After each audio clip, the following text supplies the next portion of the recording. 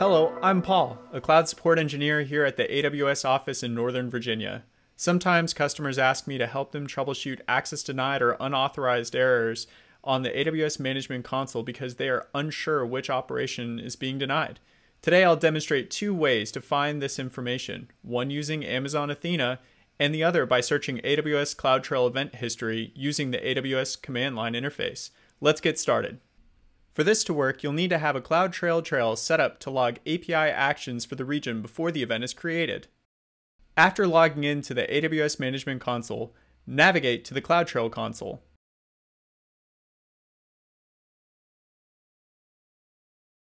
Choose Trails from the navigation pane. Note the Amazon Simple Storage Service bucket name. In the navigation pane, choose Event History. Choose Run Advanced Queries in Amazon Athena.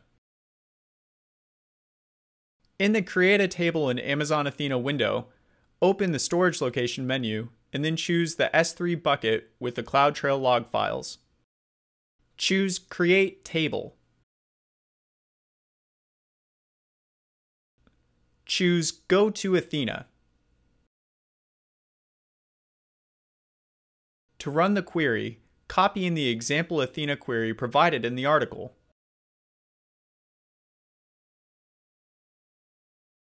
Update the table entry to match the one that you've just created. Update the timestamps.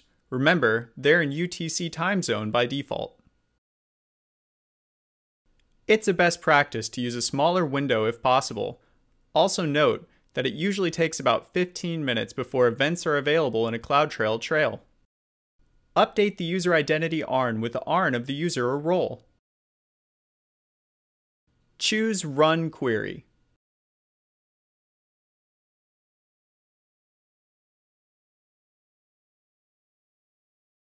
The results the table displays the errors for the time period. If you're not sure about the specific user that's triggering the error, or you receive no results, then remove the line limiting the user identity ARN.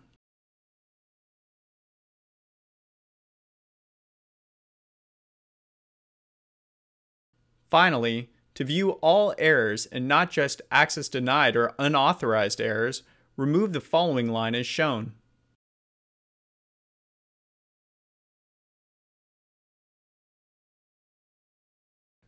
The second method uses CloudTrail event history with the AWS CLI.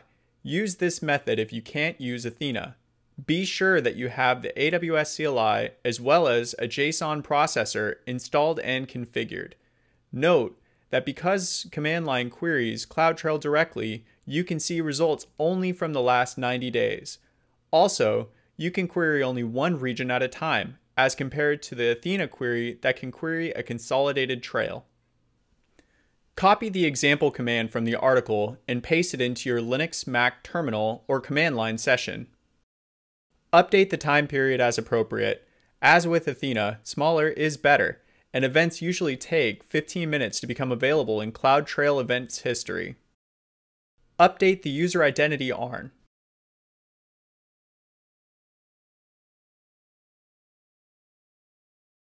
The results are similar to those using Athena. If you want to find this information for all users, then remove the information about the ARN and run the command again. To find all errors, remove the following line and run again.